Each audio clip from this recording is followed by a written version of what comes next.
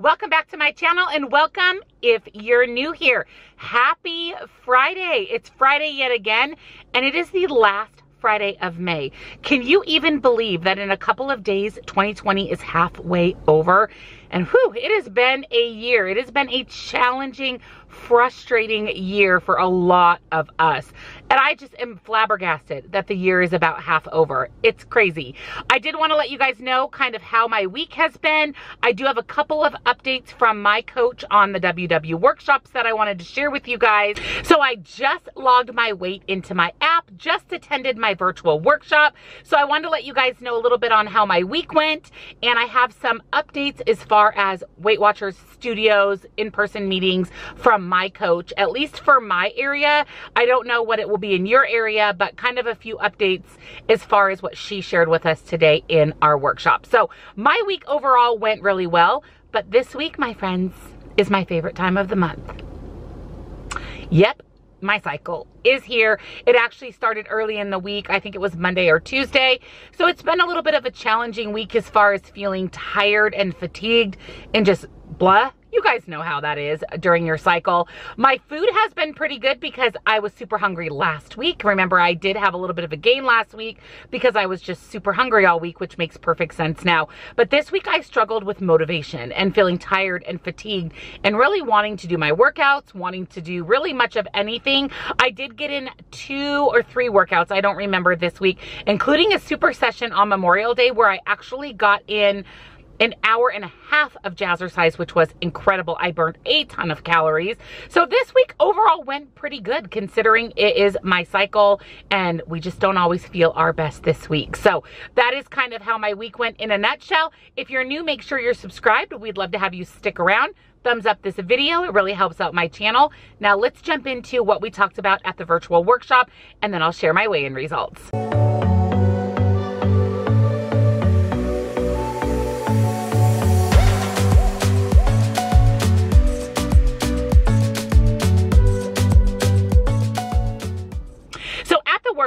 Week, we talked about habits and habit loops. So we kind of started off with a habit that we have that we don't even think about. That's really second nature to us. So think about that. What's a habit that you have that you literally don't think about? So I was thinking of morning routine. One habit I have is brushing my teeth. It's something I don't even think about. I get up, I just do it. Before bed, I just do it. But it wasn't always that way. As kids, it took us times practicing and really developing brushing our teeth as a habit. It wasn't something that just automatically happened. So think about a habit that you would like to have that just isn't second nature to you. And that's what we're going to talk about this week is turning that habit or want of a habit into something that you just habitually do that becomes a habit loop for you. So take a habit that you would like to have and turn it into a habit loop. The first step is identifying the habit that you want to have.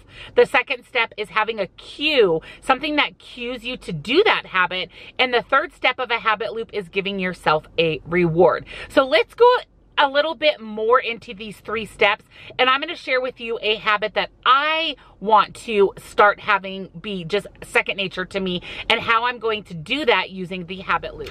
So the very first step is choosing a habit that you want to make into a permanent habit. Try to choose something that takes five minutes or less and something that you can actually have a cue for. So let me share mine with you. So I thought about this as I drove to the parking lot here to film this video about a habit that I would like to implement. And that habit for me is pre-tracking. Now that I am tracking both points and calories and macros, for me, tracking all of my food for the day, seeing where it fits within my points, calories, and macros, and making adjustments is something that I've been doing. Not every day, but is a habit that I definitely want to develop and something I do want to be doing every single day. So for me, that habit is pre-tracking my food at the beginning of the day. So the second step in the habit loop is getting a cue, triggering a cue. So think of something that you do every single day that will trigger you or cue you to do your new new habit. So for me, when I make my coffee in the morning, I always sit down after I've made my coffee because I like to just kind of sit and enjoy my coffee in the morning. I will pre-track my coffee. So for me, that cue is going to be sitting down and enjoying my coffee. I'm now going to pre-track my entire day in both the Weight Watchers app and the Lose It app to see where I'm falling points wise, calorie wise, macro wise, and right then and there making any adjustments to meals and snacks throughout the day to get me where I want to be in all three of those areas. So I do this every day. I like to sit down, whether it's on my couch, in my office, at my kitchen table, and enjoy my cup of coffee. So that is my cue to pre-track my food. And the third step in the habit loop is rewarding yourself. We all want to do things if there's a reward at the end of it. Of course, we don't want to make the reward for this new habit to be food, but we want to do something whether it's physical or sensational. So for me, knowing that my day is pre-tracked in my tracker and in the Lose It app, literally makes me feel happy and accomplished and also it makes me stay on track. It's huge you guys. If i have everything tracked for the day i don't want to waver from that because i don't want to have to go back in and retrack that food and make modifications and adjustments. So for me having it pre-tracked is huge. Helps me stay on track helps me reach my goals and is definitely a habit that i need to continue and put into place because i see much more success when i pre-track my food. I stay on track I don't waver. I get my water in. I have things to look forward through throughout the day, whether that be a dessert or a dinner that I can't wait to have or a lunch. So for me, that's kind of the habit loop that I want to create. So I want you guys to think about what is a habit that you would really, really like to have. Now it could be tracking related. It could be exercise related. Maybe it's food related or water related. Think about a habit that you really, really want to have that you know is going to help you in your journey and then put it into the habit loop decide on what that habit is, decide on a cue for that habit and a reward.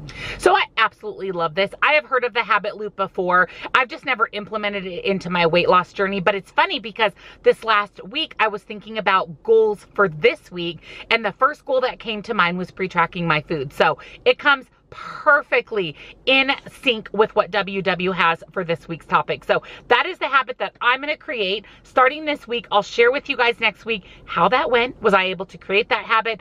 Did I pre-track how did that go and how did that work as far as my weight loss goes so i think it's a great great tool to really think about that habit loop because the better high quality habits we have that benefit us in our weight loss and our life and our career, the better all of those things are going to work out for us. So I think this habit loop is outstanding and I'm excited to try it this next week with my pre-tracking. So I shared with you guys kind of how my week went. I'm proud of myself for the workouts that I got in. My food was pretty good. I stayed within my calories and points most of the days overall, I felt like I had a really good week. It's just this darn being a girl once a month that just puts a big wrench into my weight loss plans. So when I stepped on the scale this week, I lost 0.4. So I'll take it. Normally during my cycle, I gain or stay the same. So the fact that I had a loss is a huge, huge win for me. So I am going to go ahead and put here on the screen my total pounds lost for the month of May. I'm happy with that considering the situation we're in as a nation, as well as just life happening this month, a couple of weeks that I struggled. I'm really happy with that overall weight loss, and I'm one step closer to reaching that 50 pounds loss in the year of 2020, which as you guys know was my goal. So I wanna talk a little bit about workshops and WW. I know that there has been a ton of rumors out there. I understand that WW had to fire, which is more of a furlough or a layoff, about 4,000 employees nationwide. And apparently they did this via Zoom. Now, I don't have all the details, nor do I really want to contribute to gossip and things that go around on social media and the internet about Weight Watchers. I love Weight Watchers. I support Weight Watchers. I understand that in this time, sometimes having to do those tough things via Zoom is just kind of what has to happen. Now, if someone is furloughed or laid off, they most likely can collect unemployment and they most likely are able to maintain their benefits and sometimes even receive a severance package. As you know, my career of choice prior to doing real estate was HR. So I'm very well versed in what happens during furloughs and laying off. So I don't know what happened with WW. And again, I'm not going to uh, speculate or gossip. But with that being said, they have also decided to close quite a few studios. Some studios are, are corporate studios and some studios are independent studios. So you would have to reach out to WW via the chat or email or call them and ask them if your particular studio is corporate or if your studio is independent and whether or not your particular studio is going to continue to be open and flourishing when this whole COVID-19 is over. So my coach today let us know that our studio isn't going anywhere. In fact, the studio I go to is one of maybe four in my town and I live in a pretty big city and it is very, very busy. All of the workshops are full. So I kind of figured mine would stick around. She also said that none of the studios in my area will even think about reopening until the month of June is over. So it looks like we have an entire another another month of Zoom meetings. And it sounds like this is the case for a lot of areas. So again, double check with Weight Watchers, get on the online or your app and chat, email, call, whatever works for you, and get accurate information for your area. And try to not get involved in the gossip and speculation that you're seeing on YouTube. I've seen a few videos come out already about this, and they say that they know what's going on, but unless you are part of Weight Watchers, you don't know what's going on. And if you have a friend that works at Weight Watchers, I can pretty much guarantee that they had signed an NDA, a non-disclosure agreement, and are not able to talk about it outside of Weight Watchers because that leads to disciplinary action up to termination. We did non-disclosure agreements all the time in HR. So I would say get the information directly from Weight Watchers if you have a question on your studios. And with that being said, I'm okay with the Zoom meetings. Do I like them as much as the in-person workshops? No, but I'm still feeling like I'm getting something out of the meeting. I'm getting a topic. I'm getting motivation. I'm still weighing myself at home. I have the accountability of that. I have the accountability of you. I also can get on my Zoom meeting a half an hour early and have a one-on-one session with one of the coaches or one of the guides. So I think that Weight Watchers is doing a great thing by allowing us to attend these Zoom meetings. Now, if the Zoom meetings aren't your thing, hang in there, you guys. The in-person meetings sound like that they will be back. As long as they're back in your area, it's just going to be a matter of time. So again, check with your local Weight Watchers via chat, email, phone and get information that is accurate for your area. So that's kind of what she shared with us. So it sounds for me another month of Zoom meetings. I'll continue to share, of course, what we talked about here on my channel. So it's basically like you're at a workshop anyways. And that way it keeps me motivated. I can share my weight with you guys and continue to build that community here on YouTube. So if you're not part of my Facebook group, I encourage you to head over and join us.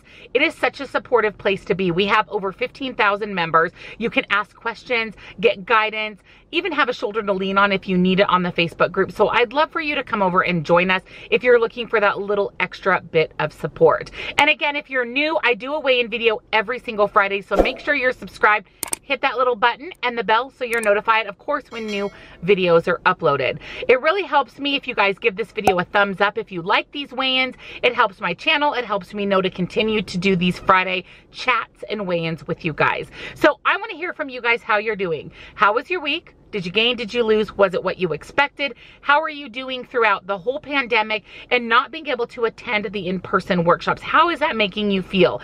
Of course, leave comments, questions down in the comment section. I love interacting with you guys. I hope you have a wonderful, beautiful Friday. Enjoy your weekend and I'll see you guys tomorrow in my grocery haul. And I have a fun grocery haul coming out tomorrow that includes a taste test. So definitely stay tuned for that. Thank you guys so much for hanging out with me this Friday. I love you. I hope you're doing well, staying healthy, happy, and strong. And I'll see you tomorrow in the grocery haul. Bye, guys.